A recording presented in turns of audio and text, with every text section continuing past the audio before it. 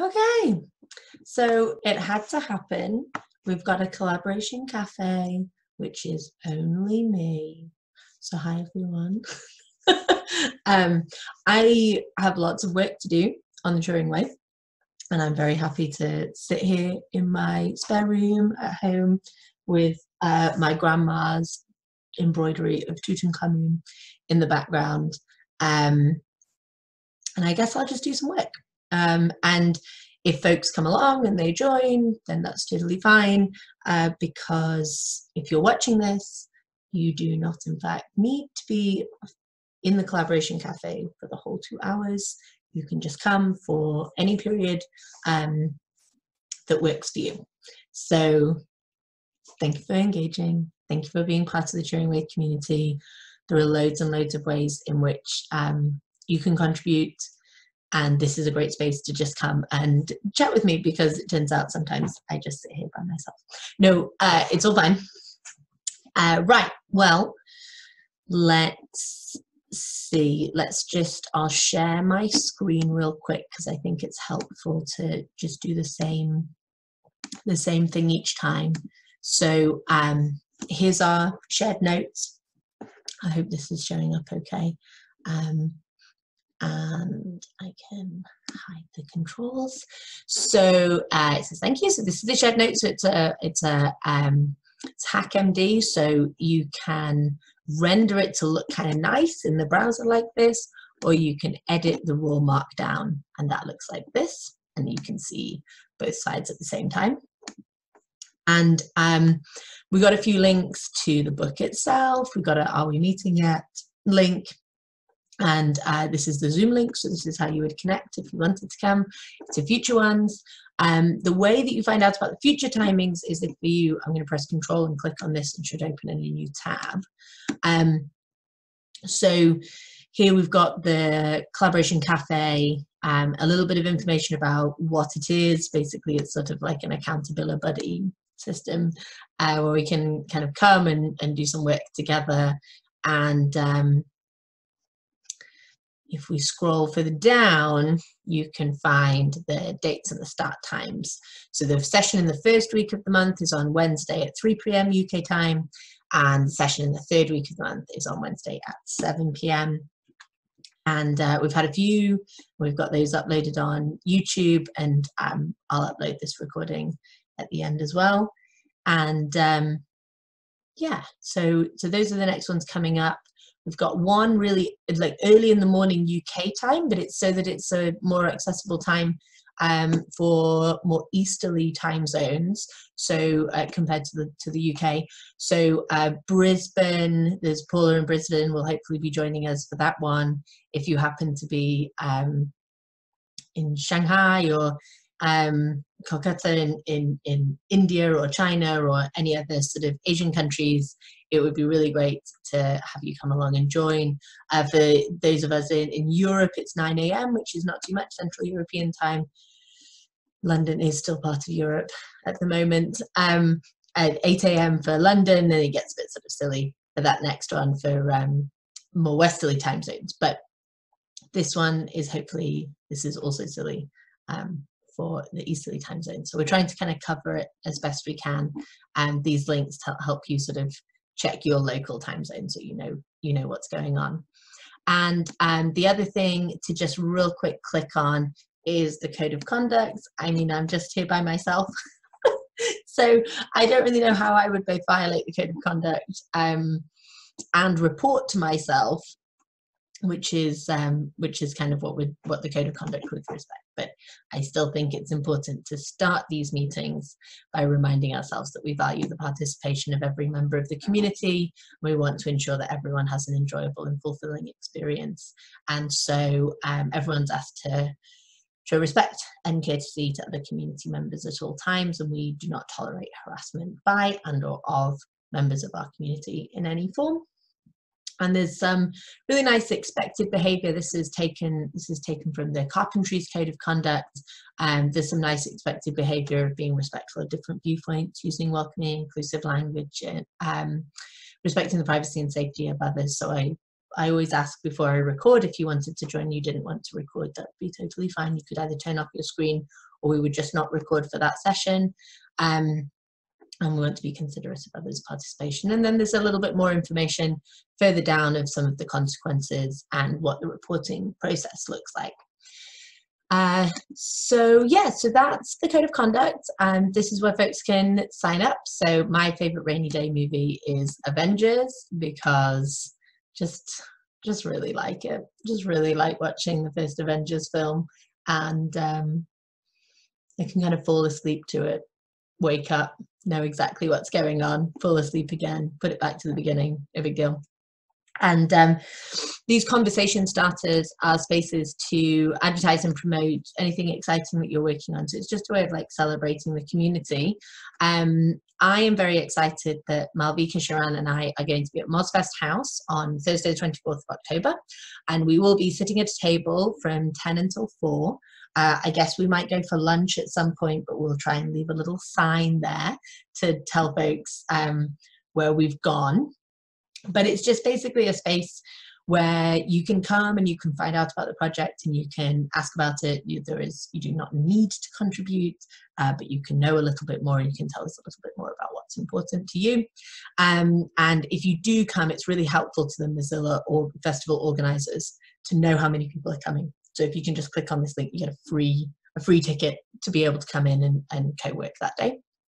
And I wanted to shout out that today is pronouns day. So my pronouns are um, she, her, and um, this is just an incredible guide. I'm going to click on it so that it's on the recording. This is written by um, Ben, Glenn Flattery, uh, and it's an organizer's guide to pronoun buttons and i just it sort of explains like why it's important to have pronoun buttons it's actually really what i find really cool about this blog post is that it it really motivates why it's uh, much better to have a pronoun button than to have um, printed on pronouns because it may be the case that people will want to suss out the joint and just see whether it's a safe space before they share their pronouns. Um, they may they they may want to kind of change their pronouns on different days if it's a multi-day event and things like that. And so having buttons means that people are able to to kind of have that um, power over over how uh, how how much information they share with the group and how things might change uh, their gender expression and their gender identity may change on different days uh, so yeah, so we've got some some pronouns. You got to explain why they're there. They're not preferred pronouns. Uh, don't print them on the badges. That's what I just said, and how you can get some buttons. And it's got some. The the blog post has some suggestions for different pronouns that you might want uh, to include. So anyway, I can stop there. You should go and read this all by yourself. Uh, but I really, I, I really strongly recommend it. I find myself googling for this very very regularly and telling everyone about it. And so i hope um, i hope other folks find it find it useful. So the way that um, these collaboration cafes work is that we set a timer for 20 minutes and then there's a five minute break 20 minutes five minute break 20 minutes five minute break and we just kind of do some stuff. So what am i going to do I have like two big things that I think are really pressing for me for the Turing Way at the moment. Three. There's three things. I'm not going to get all three of them done. One is that I ran um, a session to welcome the new PhD students to the Turing, and I asked them, I gave them all a section, just like a few sentences uh, in the Turing, in the chapter on reproducibility about barriers to reproducibility. And I asked them to write in one of those barriers and then they opened a pull request and that was super cool and then i just sort of abandoned those pull requests so i think that's going to be the thing that i work on today i think i'm going to try and like review those pull requests get them nice and tidy and then hopefully we can merge that in quite soon um, the other thing that's on my to-do list that's quite urgent is um, how to cite the Turing way. I think that I think we need a pull request on how to cite the Turing way.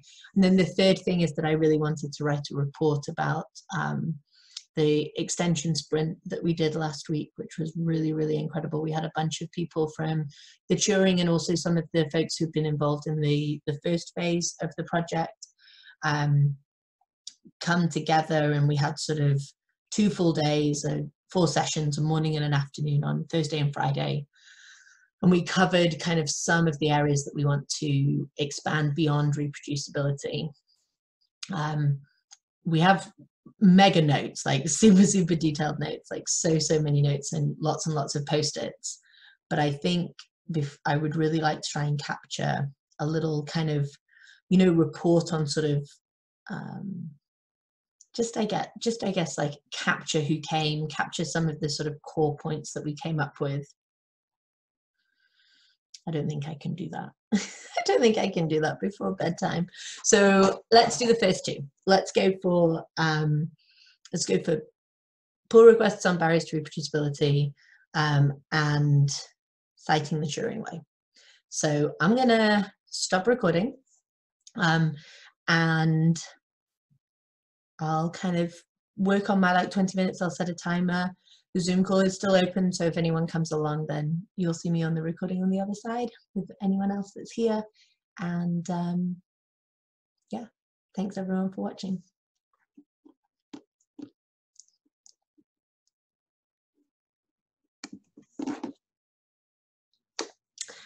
I'm back.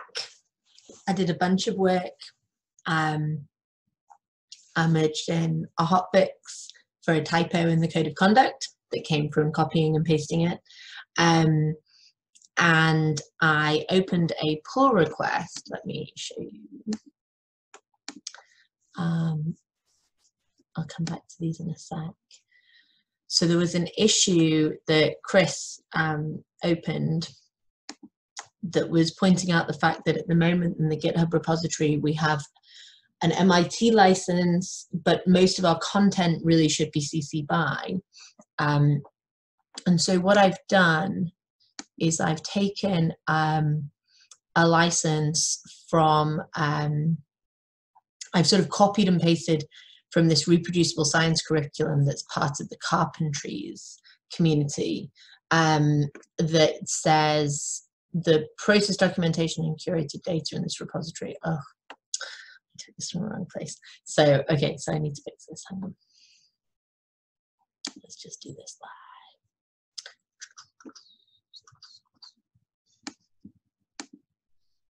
Edit file. I took this from the Citizen Science Project.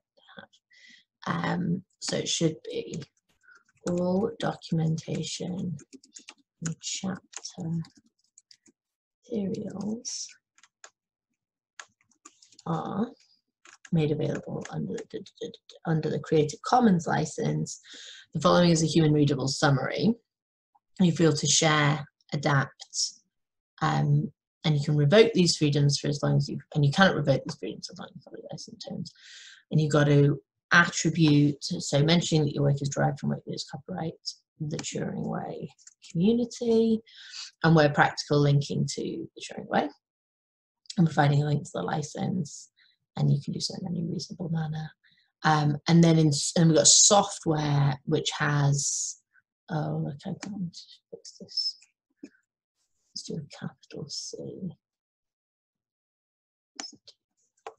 I don't think this needs to be italics. I'm going to like super into the italics thing, but I think that makes more sense. Um, and then that is the MIT license, which is much smaller. So that's the idea. So that's the pull request that's open. Let me, every time fix typing. Uh, so that's there. So that is interesting, and I am interested to know um, what folks think about that. I guess the other thing I'm going to do is make it a markdown file. I think. Um, yeah, I'm going to make it a markdown file. I think that makes sense. Oh, in that case, I'm going to add a couple of logos because I had that going on before. Um, logo, Creative Commons. So many. They have a page.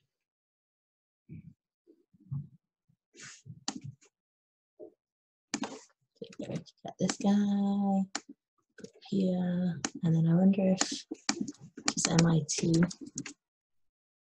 I uh,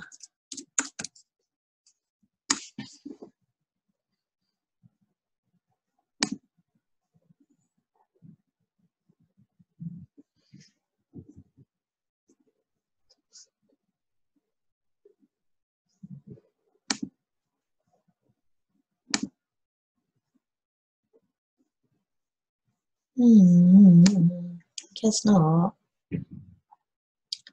Maybe it's in Wikipedia. No, I'm not going to do the MIT image. Yeah, so we'll just put that one in. That's fine. Um, OS, OSI, okay.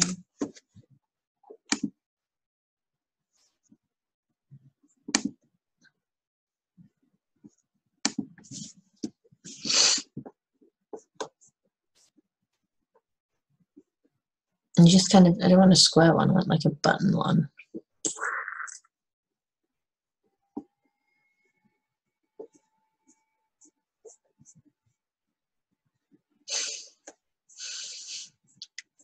Let's just stop. We're recording. Let's just stop scrolling around the internet. It's late. Um, so I can put this in. I can add this in. Um, uh, if there's no MIT logo though, then that's confusing, isn't it?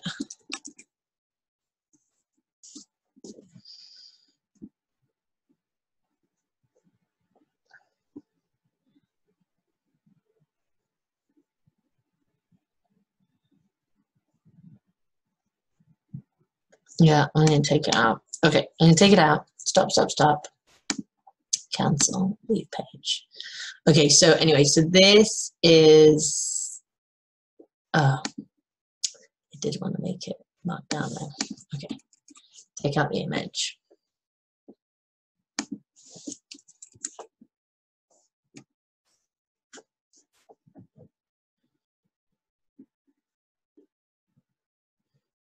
Okay.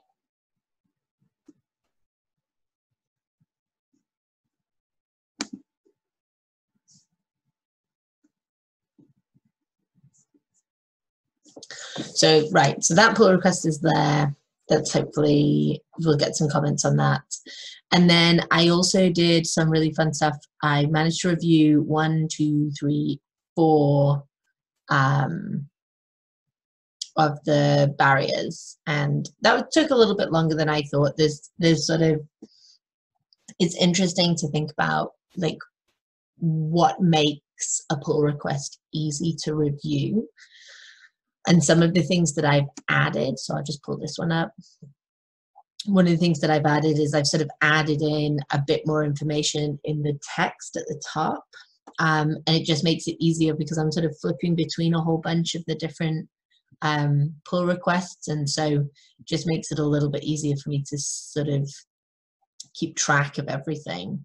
Um, so and then I've also I've been like mega picky with my like one sentence on each line. And I I think I even linked to uh, I think up here I linked to my, my XKCD comic which is sort of this is me. This is me so strongly I feel extremely seen by uh, by XKCD so yeah so I was really happy with with that work. Um, I didn't get through all of the barriers but I did make some progress which I needed to do.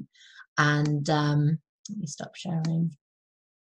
And I just want to sort of finish up the recording by saying thank you again, everyone, and uh, come along next Thursday at Mozfest House and say hello. It would be delightful to see you. We'll also be monitoring Gitter if you want to like wave and say hi there.